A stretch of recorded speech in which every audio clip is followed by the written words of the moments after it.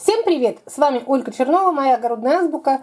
Июнь и июль это как раз тот период, когда нас огурцы радуют большим урожаем. Сначала мы едим их свежими, потом уже, когда они немножко приедают, начинаем придумывать, изобретать какие-то блюда.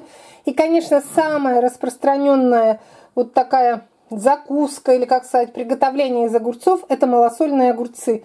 Я делаю быстрый рецепт, как я уже говорила, люблю, когда все быстро, все просто. И сейчас я поделюсь с вами своим рецептом, но сразу скажу, что каждый должен его доделывать под свой вкус.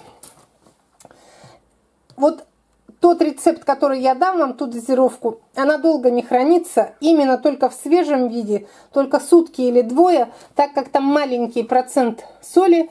Если оставить без холодильника дня на два, они могут прокиснуть. Я беру на двухлитровую банку литр воды, растворяю там столовую ложку соли, укладываю огурцы. Огурцы для малосольных, конечно, берем вот такие поменьше, большие потом пойдут на, на заготовки на зиму. Я их мою, обрезаю с обоих сторон. И для того, чтобы рецепт подействовал очень быстро, я делаю в них дырочки. Вот так вот продырявливаю, тогда рассол поступает очень быстро укладываю в банку. И вот этот, когда растворяю соль в воде, воду беру горячую. В горячей воде растворяю столовую ложку соли, заливаю туда все. Туда же накладываю укропа, чеснока погуще. Мы любим чеснок. Вот видите, там огурцов уже нет, а чеснок там плавает. Все, я вот сделала делала, когда консервировала вот эти огурцы, вы, наверное, видели, на заднем плане стояли вот эти банки, такие немножко мутные. Я сделала утром, вечером пришел муж с работы, уже готово, все.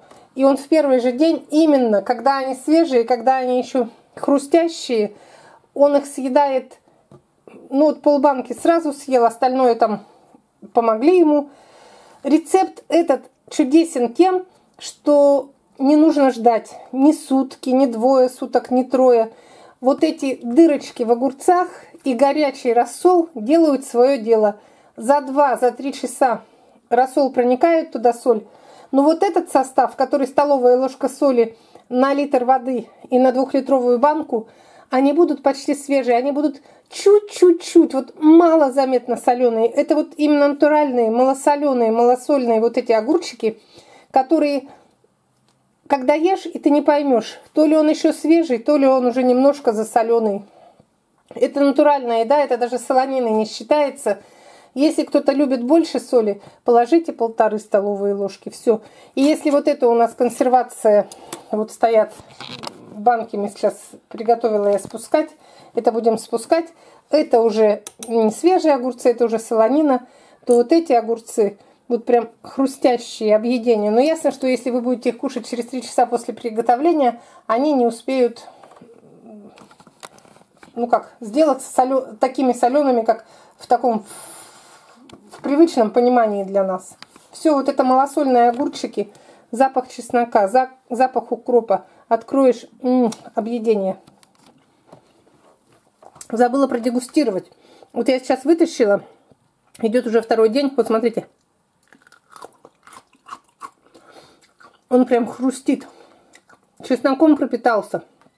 Укропом запах пропитался. Но он почти не соленый, малосольный. Натурально малосольный огурец. Хочу добавить... Сейчас. Если я говорила, что для консервирования вот такого на зиму я зазулю почти не применяю, то для малосольных зазуля прекрасный вариант.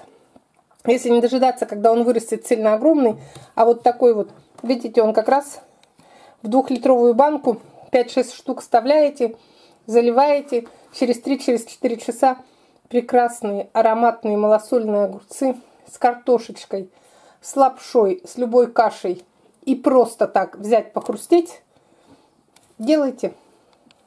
Нужно использовать лето Нужно все, что нарастает, все-все-все применить. Вот из этих огромных, которые я перерастила. Я сейчас буду делать еще огурцы по-корейски.